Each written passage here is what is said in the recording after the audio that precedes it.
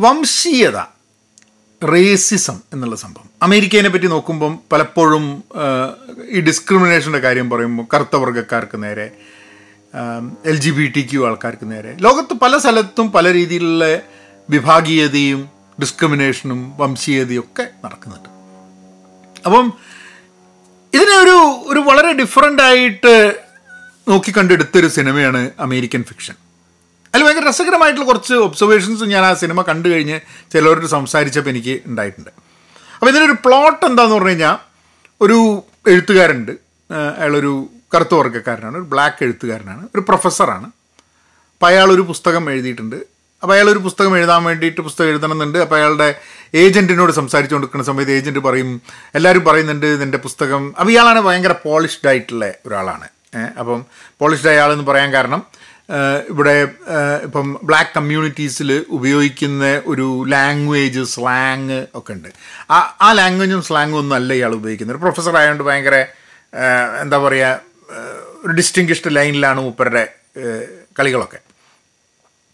അപ്പോൾ ഇയാൾ പുസ്തകം ഒക്കെ എഴുതിയിട്ട് അതിന്റെ മാനുസ്ക്രിപ്റ്റ് കൊടുത്തു കഴിഞ്ഞിട്ട് ആൾക്കാരിത് വായിക്കുമ്പോൾ അയാളോട് പറയും ഇത് this is not black enough പുസ്തകത്തിന് കറുപ്പ് പോരാ എന്നാണ് പ്രശ്നം.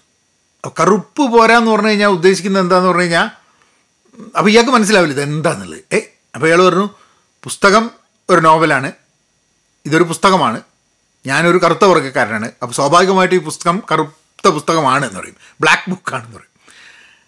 അപ്പോൾ അവർ പറഞ്ഞു അതല്ല നിങ്ങൾ എഴുതുന്ന പുസ്തകത്തിന്റെ നിങ്ങളെ ലാംഗ്വേജ് പോരാ അത് അങ്ങനെ ഇയാൾക്ക് ഭയങ്കര പ്രശ്നം വരികയാണ്. അപ്പോൾ ഈ അമ്മ സുഖമില്ലാണ്ടിരിക്കുകയാണ്. അപ്പോൾ ഇയാളെ സിസ്റ്റർ ഉണ്ട്. അങ്ങനെ ഇയാൾ ബോസ്റ്റണിലേക്ക് വരികയാണ്. ബോസ്റ്റണിൽ വന്നിട്ട് ഇയാളെ സിസ്റ്റർ മരിച്ചു വീണ് സിസ്റ്റർ മരിച്ചു പോയിട്ട് ഇയാൾ അമ്മയുടെ കാര്യമൊക്കെ നോക്കി അങ്ങനെയൊക്കെയായി അമ്മേനെ നോക്കുക. അങ്ങനത്തെ കുറേ സംഭവങ്ങളൊക്കെയാണ് ആ സിനിമ ഇയാളുടെ ഒരു പേഴ്സണൽ ലൈഫുണ്ട് അപ്പോൾ ഞാൻ ആ സിനിമ കണ്ടപ്പോൾ എനിക്കുണ്ടായിരുന്ന അനുഭവം എന്ന് പറഞ്ഞു കഴിഞ്ഞാൽ സിനിമയിൽ ധാരാളം തമാശകളുണ്ട്. തമാശകൾ പലപ്പോഴും ക്രൂഡ് തമാശയാണ്. അതായത് ആ തമാശ കേട്ട് കഴിഞ്ഞാൽ നമുക്ക് ചിരിക്കണോ ചിരിക്കണ്ടേ എന്നുള്ള സംശയം വരുന്നതാണ്. കാരണം ചിരിച്ചു കഴിഞ്ഞാൽ അത് ഒരു റേസിസത്തിനെ സപ്പോർട്ട് ചെയ്യലാവുമോ ആവില്ലേ എന്നൊക്കെയുള്ള നമുക്ക് തോന്നിപ്പോകും. അപ്പോൾ എന്റെ തൊട്ടപ്പുറത്ത് ഒരു കറുത്ത വർഗക്കാരൻ ഒരു ബ്ലാക്ക് ഒരാളാണ് ഇരിക്കുന്നത്. ഇപ്പുറത്ത് ഒരു വൈറ്റ് ഒരാളാണ്. അപ്പോൾ ഞാനിങ്ങനെ അതിന്റെ ഉള്ളിൽ ഇരുന്നിട്ട് ഞാനിങ്ങനെ പലപ്പോഴും ഇവർ ഓരോ ജോക്കിനും ഇവർ ചിരിക്കുന്നത് ഞാൻ നോക്കിക്കൊണ്ടിരിക്കുക. അപ്പോൾ ചില ജോക്കുകൾക്ക് ഈ എന്റെ സൈഡിലുള്ള ബ്ലാക്ക് വ്യക്തി ഭയങ്കരമായിട്ട് ചിരിക്കുന്നുണ്ട്. പക്ഷെ ഇപ്പുറത്തുള്ള വൈറ്റ് വ്യക്തി ചിരിക്കുന്നില്ല. ആ ചിരിക്കാത്തത് എന്തുകൊണ്ടാണെന്ന് പറഞ്ഞാൽ അയാൾക്ക് തോന്നുകയാണ് അത് ചിരിച്ചു കഴിഞ്ഞാൽ അത് അയാൾ വെള്ളക്കാരൻ വെള്ളക്കാരനാണ് എന്നുള്ളത് കൊണ്ട് അയാളൊരു വൈറ്റ് ആണെന്നുള്ളത് കൊണ്ട് ആ ജോക്കിന് ചിരിച്ചു കഴിഞ്ഞിട്ടുണ്ടെങ്കിൽ ചിലപ്പം അയാളെ റേസിസ്റ്റ് ആയിട്ട് മുദ്ര കുത്തുക എന്നുള്ളൊരു പേടി. അവിടെ ആ ഒരു ആ ഒരു തിയേറ്ററിൽ എനിക്കെന്തോ അങ്ങനെ ഒരു ഫീലിംഗ് അവിടെ വന്നു. അപ്പോൾ പലപ്പോഴും നമ്മൾ പല കാര്യങ്ങളെപ്പറ്റി സംസാരിക്കുമ്പോഴും റേസിനെ പറ്റി സംസാരിക്കുമ്പോൾ ജാതിയെപ്പറ്റി സംസാരിക്കുമ്പോഴൊക്കെ തന്നെ പല ആൾക്കാരും എന്താണ് ശരി എന്താണ്? ഇപ്പോൾ L G B T Q റൈറ്റ്സിനെ കുറിച്ച് സംസാരിക്കുമ്പോൾ എന്തെങ്കിലും ചോദ്യങ്ങൾ ചോദിക്കുമ്പോൾ ഫെമിനിസത്തെ പറ്റി സംസാരിക്കുമ്പോൾ നമ്മൾ പറയുന്നത് ശരിയാവുമോ ശരിയാവില്ലേ കറക്റ്റ് ആവുമോ കറക്റ്റ് ആവില്ലേ എന്നുള്ള ഭീതി കൊണ്ട് ചിരിക്കുകയോ പറയുകയോ സംസാരിക്കുകയോ ചെയ്യാതെ പോകുന്ന ഒരു സിറ്റുവേഷൻ ഉണ്ട് എന്നുള്ളതാണ്. അപ്പം ഈ സിനിമയിൽ ഇയാൾ എന്നിട്ട് എന്ത് ചെയ്യുമെന്ന് പറഞ്ഞു കഴിഞ്ഞാൽ ഇയാൾ അപ്പം നോക്കുമ്പം വലിയ അവാർഡൊക്കെ കിട്ടിയ ഒരു പുസ്തകം എഴുതിയ ഒരു സ്ത്രീയുടെ ഒരു ഇന്റർവ്യൂവിന് ഇയാൾ പോകും അവരുടെ പ്രസംഗം കേൾക്കാൻ. അത് കഴിഞ്ഞ് ഇയാളെ പുസ്തകം വായിക്കും. ആ പുസ്തകം വായിക്കുമ്പോൾ പുസ്തകത്തിൽ എങ്ങനെയാന്ന് പറഞ്ഞു കഴിഞ്ഞാൽ ഈ ഒരു ഗ്യാങ് ഒരു ഗ്യാങ്സ്റ്റർ ആയിട്ടുള്ള ഒരാളുടെ കഥയാണ്. അപ്പം മാത്രമല്ല ഈ ബ്ലാക്ക് കമ്മ്യൂണിറ്റീസിലൊക്കെ ഉള്ള ചില ഗ്യാങ് അല്ലെങ്കിൽ ക്രൈമിനെ കുറിച്ചൊക്കെയാണ് ആ പുസ്തകം. മാത്രമല്ല അതിൽ ഉപയോഗിക്കുന്ന ലാംഗ്വേജ് അങ്ങനത്തെ കമ്മ്യൂണിറ്റികളിൽ ഉപയോഗിക്കുന്ന ഒരു ലാംഗ്വേജാണ് അപ്പോൾ ഇയാളിത് നോക്കിയിട്ട് തന്നെ പറയും അയ്യോ ഇതെന്ത് ഇങ്ങനെ ഇങ്ങനെയൊക്കെയുള്ള എന്തിനാണ് എഴുതുന്നത്? കാരണം എപ്പോഴും നമ്മളെ സ്റ്റീരിയോ ടൈപ്പ് ചെയ്യുന്ന ഒരു സംഭവം എന്തിനാണെന്ന് ഇയാൾ ചോദിക്കും. കാരണം നിങ്ങൾ പുസ്തകം വഴിയും ഒരു കറുത്ത വർഗക്കാരൻ എന്ന് പറഞ്ഞു കഴിഞ്ഞാൽ ആ ലാംഗ്വേജും ആ ഇതൊക്കെ വെച്ച് നിങ്ങൾ എന്തുകൊണ്ട് എന്തിനാണ് ഞങ്ങൾ കറുത്ത വർഗക്കാരെ സ്റ്റീരിയോ ടൈപ്പ് ചെയ്യുന്നത് എന്നുള്ളതാണ് ഈ എഴുത്തുകാരന്റെ ചോദ്യം. അവസാനം ഇയാൾ എന്ത് ചെയ്യുന്നു പറഞ്ഞു കഴിഞ്ഞാൽ ഇയാളൊരു സ്യൂഡോ നെയിമിൽ ഒരു ഒരു തൂലികാ നാമത്തിൽ ഒരു അപര നാമത്തിൽ ഇയാളൊരു പുസ്തകം എഴുതും. ആ പുസ്തകത്തിൽ ഇയാൾ ഇയാളുടെ സ്വതസിദ്ധമായിട്ടുള്ള ശൈലിയിൽ നിന്ന് മാറിയിട്ട് ഒരു ഒരു ഗ്യാങ്ങിനെ കുറിച്ച് സ്ട്രീറ്റിലെ ഒരു കഥ അങ്ങനെ കുറേ സംഭവങ്ങളൊക്കെ ഇട്ടിട്ട് അത് ഭയങ്കര ഹിറ്റാവുകയാണ്. ആൻഡ് അപ്പോൾ ഇതിൽ ഇത് മൊത്തം അമേരിക്കൻ ഫിക്ഷൻ എന്നുള്ള ഭയങ്കര ഹൈലി റേറ്റഡ് ആണ് കേട്ടോ റോട്ടൻ ടൊമാറ്റോസിലൊക്കെ. ഈ സിനിമയുടെ ഒരു ഒരു നമ്മളുടെ മുമ്പിൽ വെക്കുന്ന ഒരു ചോദ്യം എന്താണെന്ന് പറഞ്ഞു കഴിഞ്ഞിട്ടുണ്ടെങ്കിൽ ഭയങ്കരമായിട്ടുള്ള സ്റ്റീരിയോ ടൈപ്പിംഗ് നമ്മൾക്ക് ചുറ്റുമുണ്ട്. അതായത് ഈ പബ്ലിഷേഴ്സ് പറയുന്ന എന്താന്ന് പറഞ്ഞു കഴിഞ്ഞിട്ടുണ്ടെങ്കിൽ ആ സ്ട്രീറ്റിലെ അതേമാതിരിയുള്ള കഥ പുസ്തകമാക്കി വെക്കുമ്പോൾ ആൾക്കാർക്ക് അതിനെപ്പറ്റി ധാരണ ഉണ്ടാവുന്നുള്ളൂ പക്ഷെ അതിനു വേണ്ടി അവരെന്താ ചെയ്യുന്നത്?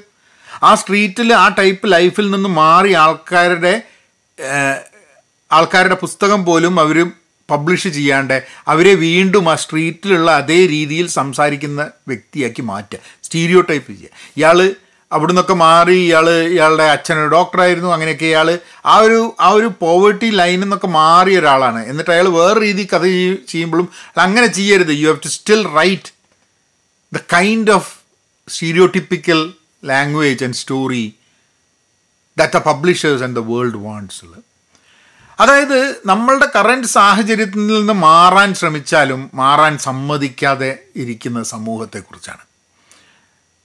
അത് നമ്മൾ മുമ്പിൽ കുറേ ചോദ്യങ്ങൾ ഉന്നയിക്കുന്നുണ്ട്. അപ്പോൾ ഇത് ഈ സിനിമ അപ്പോൾ ഈ മെയിൻ ക്യാരക്ടറിന്റെ ഒരു ബ്രദറുണ്ട് ആ ബ്രദർ ഒരു ഗേ ആണ്. അപ്പം അപ്പോൾ അപ്പം അതിന്റെ കുറേ അപ്പം ഇയാൾക്കാണെങ്കിൽ ഗെയ്സിന് ഇഷ്ടമല്ല. അപ്പം അതുകൊണ്ടുള്ള ഒരു കോൺഫ്ലിക്റ്റും കാര്യങ്ങളൊക്കെ ഉണ്ട്.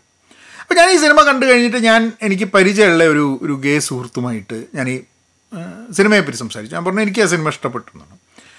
അപ്പോൾ അയാൾ എന്നോട് പറഞ്ഞു ആ പക്ഷെ അവർ പറയുന്ന സ്റ്റീരിയോ ടൈപ്പിംഗ് ഒന്നും ശരിയല്ല എന്ന് പറഞ്ഞിട്ട് അവർ എന്ത് ചെയ്തു? കറുത്ത വർഗക്കാരെ സ്റ്റീരിയോ ടൈപ്പ് ചെയ്യുന്നു എന്നുള്ളതാണ് അതിന്റെ മെസ്സേജ് എന്നുണ്ടെങ്കിലും ആ സിനിമയിൽ അവർ ഗേ കമ്മ്യൂണിറ്റിയെ സ്റ്റീരിയോ ടൈപ്പ് ചെയ്യുന്നുണ്ട് എന്ന് പറഞ്ഞു. അതായത് ആ സിനിമ മുന്നോട്ട് വയ്ക്കുന്ന ഒരു ആശയം ആ സിനിമയിൽ തന്നെ വേറൊരു വിഭാഗത്തെക്കുറിച്ച് പറയുന്ന സമയത്ത് അവരാ അവരാ ആശയം ഉൾക്കൊണ്ട് അതിനെ നീതി പുലർത്തിയിട്ടില്ല എന്നുള്ളത്.